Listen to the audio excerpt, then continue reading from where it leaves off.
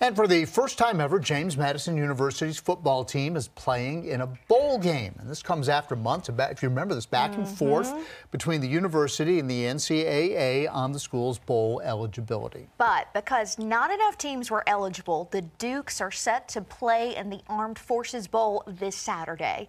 10 News reporter and JMU alum Sydney Jackstimer spoke with fans about their plans to cheer on the team. As a JMU fan myself, I am so excited about this bowl game. How are you feeling getting to go down there to Texas to cheer the Dukes on? I I'm so so hyped. I can't even put into words how excited I am.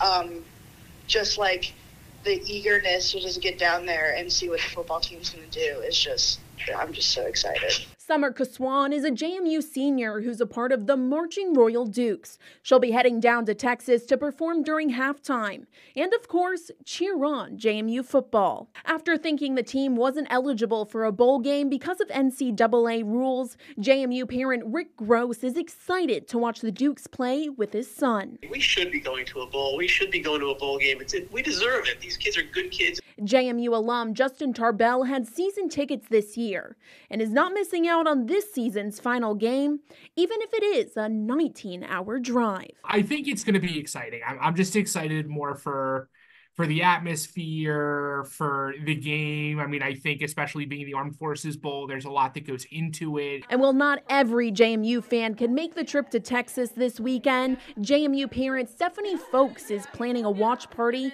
for JMU fans in the Roanoke Valley. We are helping to organize a watch party at Big Lick Brewing on the 23rd at 3. So um, we just want to have an opportunity for fans to get together and cheer the Dukes and um, be able to cheer from afar. Reporting, I'm Sydney Jackstimer. Go Dukes.